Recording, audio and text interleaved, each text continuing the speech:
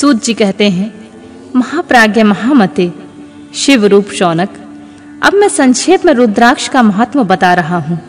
सुनो, रुद्राक्ष शिव को बहुत प्रिय है।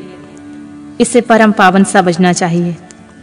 रुद्राक्ष के दर्शन से, स्पर्श से तथा उस पर जाप करने से समस्त पापों का अपहरण करने वाला माना गया है। मुने, पूर्व काल में परमात्मा शिव ने समस्त लोगों का उपकार करने के लिए देवी पार्वती के सामने रुद्राक्ष की महिमा का वर्णन किया था। भगवान शिव बोले, महर्षि शिवे, मैं तुम्हारे प्रेम बस भक्तों के लिए हित की कामना से रुद्राक्ष की महिमा का वर्णन करता हूँ। तो सुनो, महेशानी, पूर्व काल की बात है। मैं मन को संयम में रखकर हज़ारों दिव्य वर्षों तक घोर तपस्या में लगा रहा। एक दिन सहसा मेरा मन शुद्ध हो उठा। परमेश्वरी मैं संपूर्ण लोगों का उपकार करने वाला स्वतंत्र परमेश्वर हूँ। अतः, उस समय मैंने लीलावश ही अपने नेत्र खोले। खोलते ही मेरे मनोहर नेत्र पुटों से कुछ जल की बूंदें गिरी। आँसू के उन बूंदों से वहाँ रुद्राक्ष नामक वृक्ष पैदा हो गया। भक्तों पर अनुग्रह करने के लिए ये अश्रु बिंदु स्थावर भाव को प्राप्त हो गए। वे रुद्राक्ष मैंने विष्णु भक्त को तथा चारों वर्णों के रुद्राक्ष को मैंने गौण देश में उत्पन्न किया। मथुरा, अयोध्या, लंका, मलयाचल, सहस्रगिरी, काशी तथा अन्य देशों में भी उनके अंकुर उगाए। वे उत्तम रुद्राक्ष असह पाप समूहों का भेदन करने वाले तथा श्रुतियों के भी प्रेरक हैं। मेरी आज्ञा से वे ब्राह्मण, क्षत्रिय, वैश्य और शूद्र जाति के लिए भेद से इस भूतल पर प्रकट हुए। रुद्राक्ष की ही जाति के भी सुभाक्ष भी हैं। उन ब्रह्मांडी जाति वाले, रुद्राक्षों के वर्ण श्वेत रक्त, पीत तथा कृष्ण जानने चाहिए। मनुष्यों को चाहिए कि विक्रमशः वर्ण के अनुसार अपनी जाति का ही रुद्राक्ष धारण करें। भोग और मोक्ष की इच्छा रखने वाले, चारों वर्णों के लोगों और विशेषतः शिव भक्तों को शिव पार्वती की प्रसन्नता के लिए रुद्राक्ष के फलों को अवश्य धारण करना चाहिए। आंवले के फल के बराबर जो रुद्राक्ष हो वह श्रेष्ठ बताया गया है। और जो बेर के फल के बराबर हो, उसे मध्यम श्रेणी का कहा गया है। और जो चने के बराबर है, उसकी गणना निम्न कोटि में की गई है। अब इसकी उत्तमता को परखने के लिए दूसरी उत्तम प्रक्रिया बताई जाती है। इसे बताने का उद्देश्य है भक्तों की हित कामना पार्वती, तुम भली भांति प्रेम पूर्वक इस विषय को सुनो। महेश्वरी, जो रुद्राक्ष बेर के फल के बराबर होता है उतना छोटा होने पर भी लोक में उत्तम फल देने वाला होता है, तथा सुख सौभाग्य की वृद्धि कराने वाला होता है। और जो रुद्राक्ष आंवले के फल के बराबर होता है, वह समस्त आरिष्टों का नाश करने वाला, तथा जो गुंजा फल के समान मोटा होता है, वह संपूर्ण मनोरथों की फलों की सिद्धि करने वाला होता है।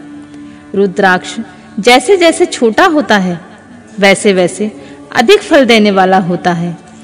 एक एक बड़े रुद्राक्ष से एक एक छोटे रुद्राक्ष को विद्वानों ने दस गुना अधिक फल देने वाला बताया है।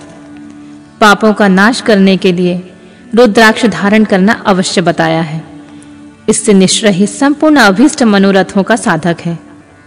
अतः अवश्य ही उसे धारण करना चाहिए। परमेश्वरी, लोक में मंगलमय रुद्राक्ष जैसा फल देने वाला देखा जाता है। वैसी फलदायिनी दूसरी कोई माला नहीं दिखाई देती है देवी। सामान आकार प्रकार वाले, चिकने मज़बूत, स्थूल कंठक युक्त और सुंदर रुद्राक्ष, अभिलषित पदार्थों के दाता तथा सदैव भोग और मोक्ष देने वाले हैं, जिसे कीड़ों ने दूषित कर दिया हो और जो टूटा फूटा हो, जिसमें उभरे हुए दाने ना हो, वह व्रण युक्त तथा जो पूरा पूरा गोल न हो, इन पाँचों प्रकार के रुद्राक्षों को त्याग देना चाहिए। जिस रुद्राक्ष में अपने आप ही डोरा पिरोने के योग छिद्र हो गया हो, वही सबसे उत्तम माना गया है। जिसमें मनुष्य के प्रयत्न से छेद किया गया हो, वह मध्यम श्रेणी का होता है। रुद्राक्ष धारण बड़े-बड़े पातकों का नाश करने वाला होता है। इस जगत में 1100 रुद्राक्ष धारण करके मनुष्य जिस फल को पाता है, उसका वर्णन सैकड़ों वर्षों में भी नहीं किया जा सकता। भक्तिमान पुरुष, साढ़े पाँच सौ रुद्राक्ष के दानों का सुंदर मुकुट बना ले और उसे सिर पर धारण करे। 308 दानों का लंबे सूत्र में पिरोकर एक हार बना ले। वैसे वैसे तीन हार बनाकर भक्ति पारायण पुरुष उसे यज्ञोपवीत तैयार करे और उसे यथा स्थान धारण किए रहे। इसके बाद किस अंग में कितने रुद्राक्ष धारण करने चाहिए, यह बताकर सूत जी बोले, महर्षियों, सिर पर ईशान मंत्र से कान में तत्पुरुष मंत्र से, तथा गले और हृदय में अघोर मंत्र से रुद्राक्ष धारण करना चाहिए। विद्वान पुरुष, दोनों हाथों में अघोर बीज मंत्र से रुद्राक्ष धारण करे। उदर पर वामदेव मंत्र से पंद्रह रुद्राक्षों द्वारा गुथे हुए माला धारण करे, अथवा अंगों सहित प्रणव का पाँच बार जप करके रुद्राक्ष की तीन, पाँच या सात मालाएँ धारण करें, अथवा मूल मंत्र से ही समस्त रुद्राक्षों को धारण करें। रुद्राक्षधारी पुरुष अपने स्नान खान पान मदिरा, मांस, लहसुन, प्याज, सहीजन आदि को त्याग दे। गिरिराज नंदिनी उमे, श्वेत रुद्राक्ष केवल ब्राह्मणों को ही धारण करना चाहिए। गहरे लाल रंग का रुद्राक्ष क्षत्रियों के लिए हितकर बताया गया है। वैश्यों के लिए प्रतिदिन बारंबार पीले रुद्राक्ष का धारण करना आवश्यक है और शूद्रों को काले रंग का रुद्राक्ष धारण करना चाहिए। यह वेदोक्त मार्ग है। ब्रह्मचारी बानप्रस्थ, गृहस्थ और सन्यासी, सबको नियम पूर्वक रुद्राक्ष धारण करना उचित होता है। इसे धारण करने का सौभाग्य बड़े पुण्य से प्राप्त होता है उमे। पहले आंवले के बराबर और फिर उससे भी छोटे रुद्राक्ष धारण करें। जो रोगी हो, जिनमें दाने ना हो, जिन्हें कीड़ों ने खा लिया हो, और जिनमें पिरोने योग छेद ना हो, ऐसे रुद्राक्ष मंगलकारी पुरुषों को नहीं धारण करना चाहिए। रुद्राक्ष मेरा मंगलमय लिंग विग्रह है। वह अंतोतुगत चने के बराबर लघुतर होता है। सूक्ष्म रुद्राक्ष को ही सदा प्रशस्त माना गया है। सभी आश्रमों, सभी वर्णों, स्त्रियों और शूद्रों को भी भगवान शिव की आज्ञा के अनुसार सदैव रुद्राक्ष धारण करना चाहिए। यतियों के लिए, प्रणव के लिए उच्चारण पूर्वक रुद्राक्ष धारण करने का विधान है। जिसके ललाट में त्रिपुंड लगा हो और सभी अंग रुद्राक्ष से विभूषित हो रहे हों। जो महामृत्युंजय का जाप कर रहा हो, उसका दर्शन करने से साक्षात रुद्र के दर्शन का फल प्राप्त होता है। पार्वती, रुद्राक्ष अनेक प्रकार के बताए गए हैं।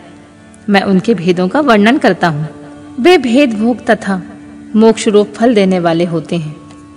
तुम उत्तम भक्ति भाव से उनका परिचय सुनो। एक मुख वाला रुद्राक्ष, साक्षात शिव जी का स्वरूप है। वह भोग और मोक्ष रूपी फल प्रदान करता है। जहाँ रुद्राक्ष की पूजा होती है, वहाँ से लक्ष्मी दूर नहीं जाती है। उस स्थान के सारे उपद्रव नष्ट हो जाते हैं। तथा वहाँ रहने वाले लोगों की संपूर्ण कामनाएँ पूर्ण होती हैं।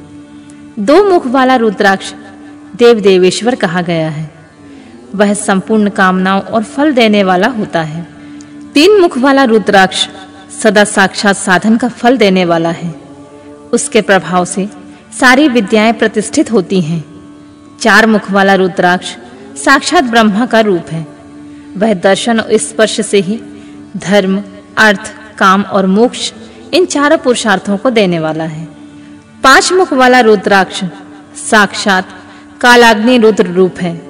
वह सब कुछ करने में समर्थ होता है। सबको मुक्ति देने वाला तथा संपूर्ण मनोवांछित फल प्रदान करने वाला होता है। पंचमुख रुद्राक्ष समस्त पापों को दूर कर देता है। छह मुख वाला रुद्राक्ष कार्तिकीय का स्वरूप है। यदि दाहिनी भुजा में उसे धारण किया जाए तो धारण करने वाला मनुष्य ब्रह्म हत्या आदि पापों से मुक्त हो जाता है। इसमें कोई संशय नहीं है। महेश्वरी, सात मुख वाला रुद्राक्ष अनंग स्वरूप और अनंग नाम से प्रसिद्ध है। देवेशी, उसे धारण करने से दरिद्र भी ऐश्वर्यशाली हो जाता है। आठ मुख वाला रुद्राक्ष अष्टमूर्ति भैरव रूप है। उसको धारण करने से मनुष्य पूर्ण आयु होता है और मृत्यु के पश्चात शूलधारी शंकर हो जाता है। नौ मुख वाले रुद्राक्ष को भैरव तथा कपिल मुनि का प्रतीक माना गया है। अथवा नौ रूप धारण करने वाली महेश्वरी, दुर्गा उसकी अधिष्ठात्री देवी मानी गई है। जो मनुष्य भक्ति परायण हो अपने बाएँ हाथ में नौ मुख रुद्राक्ष धारण करता है, वह निश्चित ही मेरे समान सर्वेश्वर हो जाता है। इसमें संशय नहीं है, महेश्वरी।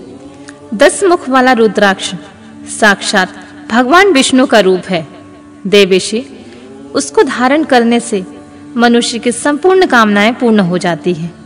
परमेश्वरी ग्यारह मुख वाला जो रुद्राक्ष है, वह रुद्र रूप है। उसको धारण करने से मनुष्य सर्वत्र विजयी होता है। बारह मुख वाले रुद्राक्ष को केश प्रदेश में धारण करें। उसको धारण करने से मानव मस्तक पर बारह आदित्य विराजमान हो जाते हैं। तेरह मुख वाला रुद्राक्ष विश्व देवों का स्वरूप है।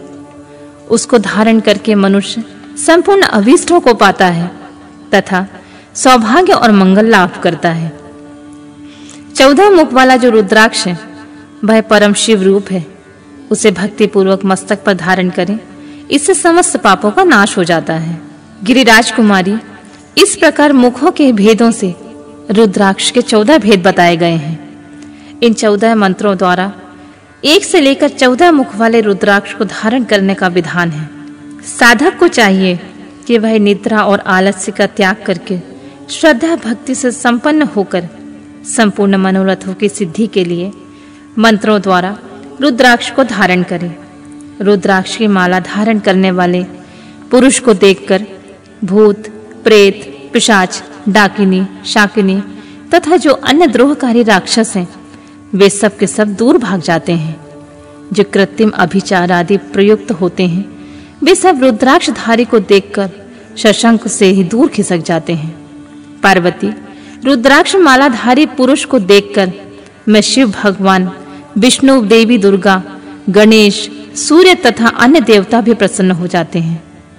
महेश्वरी, इस प्रकार रुद्राक्ष की महिमा को जानकर, धर्म की वृद्धि के लिए भक्ति पूर्वक पूर्वोक्त मंत्रों द्वारा विधिवत उसे धारण करना चाहिए। मुनीश्वर, भगवान शिव ने देवी पार्वती के सामने जो कुछ कहा था, वह सब तुम्हारे प्रश्न के अनुसार मैंने तुम्हें कह सुनाया। मुनीश्वरों, मैंने तुम्हारे समक्ष इस विदेश्वर संहिता का वर्णन किया है। यह संहिता संपूर्ण सिद्धियों को देने वाली तथा भगवान शिव की आज्ञा से नित्य मोक्ष प्रदान करने वाली है।